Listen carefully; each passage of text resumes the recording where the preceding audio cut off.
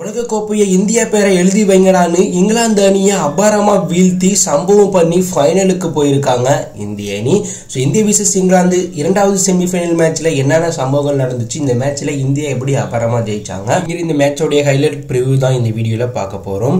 இந்த மேட்ச்ல முதல்ல டாஸை வெற்றி பெற்ற இங்கிலாந்து கேப்டன் இந்தியாவை பேட்டிங் ஆட சொல்ல ரோஹித் சர்மாவும் நாங்கள் பேட்டிங் ஆட ஆர்வமாக இருக்கோன்னு பேட்டிங் ஆடினாங்க ஸோ விராட் கோலி ரோஹித் சர்மா வழக்கம் போல ஓப்பனிங் பேட்ஸ்மேனாக களமிறங்கினாலும் கோலி ரீஷாப்லி போட்ட பாலில் சிக்ஸ் அடிச்சு அதே ஓவரில் அவுட் ஆகிட்டார் கோலி ஒன்பது பாலுக்கு ஒன்பது ரன் அடிச்சிருக்கும் போது ஆர்சிபி வீரர் ரீஷாப்லி போட்ட பாலில் போல்ட் ஆகிட்டு முதல் விக்கெட்டாக மீண்டும் வேர்ல்டு கப்பில் சொதப்பிட்டு வெளில போயிட்டார். அதற்கப்புறம் உள்ள வந்து ரிஷப் பண்ட் ரோஹித் சர்மா அதிரடியாக விளாட்ற மாதிரி இருந்தாலும் ரிஷப் பந்த் ஆறு பாலுக்கு நான்கு ரன் அடிச்சிருக்கும் போது சாம் போட்ட ஒரு ஸ்லோ ரன் பேஸ்ட் அவுட்டை கேட்ச் கொடுத்துட்டு இரண்டாவது விக்கெட் அவுட் ஆகிட்டு வெளில போயிட்டார். அதுக்கப்புறம் உள்ள வந்து சூரியகுமார் யாதவ் ரோஹித் சர்மா போட்டி அதிரடி எடுத்துகிட்டு போனாங்க. எட்டு ஓவர் முடிவில் அறுபத்தி எட்டு ரன் இந்தியா அடிச்சிருந்தாங்க. மழை குறுக்க வந்ததுனால கொஞ்ச நேரம் ஸ்டாப் ஆனுச்சு. அதுக்கப்புறம் தொடங்கிய ஆட்டத்தில் ரோஹித் சர்மா சூரியகுமார் யாதவ் அதிரடியாக விளாண்டாங்க இதில் சூரியகுமார் யாதவ் முப்பத்தாறு பாலுக்கு நாற்பத்தி ரன் இரண்டு சிக்ஸ் நான்கு பவுண்டரி நூற்றி முப்பது கிட்ட ஸ்ட்ரைக்கெட் இருக்கும்போது ஜோப்ரா ஆச்சர் போட்ட பாலில் கேட்ச் கொடுத்துட்டு வெளில போயிட்டாங்க.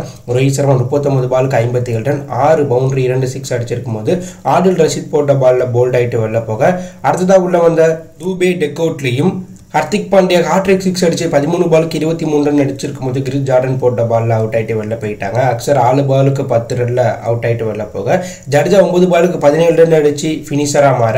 இந்திய அணி இருபது ஓவர் முடியல ஏழு விக்கெட்ல பிறகு நூத்தி எழுபத்தி ஒரு ரன் அடிச்சாங்க. எதிரணி பந்திச்சு தரப்புல கிரிஸ் ஜார்டன் மூன்று ஓவர் வீசி முப்பத்தி ஏழு ரன்களை விட்டு கொடுத்து மூன்று விக்கெட் எடுத்தாங்க. நூத்தி எழுபத்தி இரண்டு ரன் அப்படிங்கிற டார்கெட் நோக்கி கிளம்பிறங்கிய இங்கிலாந்தினுடைய தொடக்கம் அதிரடியாக இருந்தாலும் பட்லர் பாஞ்சு பாலுக்கு இருபத்தி மூன்று ரன் அடிச்சிருக்கும் போது மூன்றாவது ஓவர் ஹர்ஷர் பட்டேல் வீசிய பாலில் ரிஷப் பண்ட் சம்பீட் பண்ணதுனால அவுட் ஆயிட்டு அதிர்ச்சி கொடுத்துட்டு வெளில போயிருப்பார். நாலாவது ஓவர் வீசிய பும்ரா பிளிப் ஷாட் விக்கெட்டை எடுத்திருப்பார். பிளிப் ஷாட் எட்டு பாலுக்கு ஐந்து ரன் அடிச்சிருக்கும் போது பும்ரா போட்ட பால் கிளீன் போல்ட் ஆயிட்டு வெளில போக. மொயின் அலி பத்து பாலுக்கு எட்டு ரன் அடிச்சிருக்கும் போது அக்ஷர் பட்டேல் போட்ட பால்ல செம்பிட் ஆயிட்டு வெளில போக. பேஸ்டோ மூன்று பாலுக்கு டெக்கோட்ல அக்ஷர் பட்டேல் போட்ட பால்ல போல்ட் ஆயிட்டு வெளில போயிருப்பாங்க.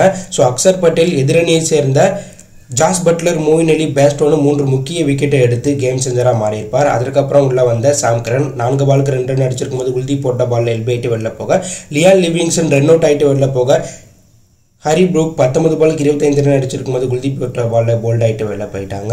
அதுக்கப்புறம் வந்த கிரிஜ் ஜார்டன் ஒரு ரன்லையும் ஜோப்ரா ஆச்சர் இருபத்தோரு ரன்லையும் ஆடில் ரஜித் இரண்டு ரன்லையும் கடைசி விக்கெட்டாக ரன் அவுட் ஆகிட்டு வெளில போக இங்கிலாந்து அணி பதினாறு புள்ளி நான்கு ஒரு முடிவில் பத்து விக்கெட்டில் பேருக்கு நூற்றி மூன்று ரன் மட்டும் அடித்ததுனால அறுபத்தெட்டு ரன் வித்தியாசத்தில் இந்திய அணி அபாரமாக வெற்றி பெற்று ரெண்டாயிரத்தி இருபத்தி ரெண்டில் இங்கிலாந்து அணி கிட்ட தோட்ட இந்திய அணி ரெண்டாயிரத்தி இருபத்தி மூணில் ஜெயிச்சு ஃபைனல் போயிருக்காங்க. இந்திய அணி பந்திச் தரப்பில் அக்சர் பட்டேல் குல்தீப் யாதவ் மூன்று விக்கெட் எடுத்தாங்க. இதில் அக்சர் பட்டேல் நான்கு இருபத்தி மூணு ரன்களை விட்டு கொடுத்து மூன்று முக்கிய விக்கெட் எடுத்ததுனால அவருக்கு player of the match award கொடுத்துருக்காங்க.